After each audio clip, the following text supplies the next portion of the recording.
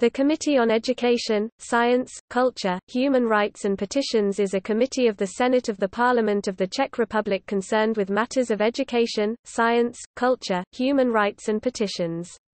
It consists of nine members.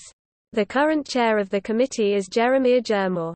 The vice-chairs are Hana Doupovcová, Marcel Chládek, Karel Kapoun, and Jiří Oberfalzer. Its remaining members are Petr Bratský, Václav Homolka, Miloš Janeček, and Richard Svoboda.